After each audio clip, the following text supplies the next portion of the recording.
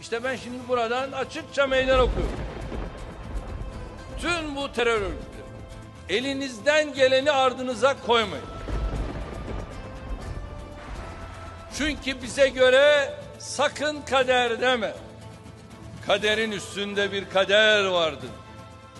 Ne yapsalar boş, göklerden gelen bir karar.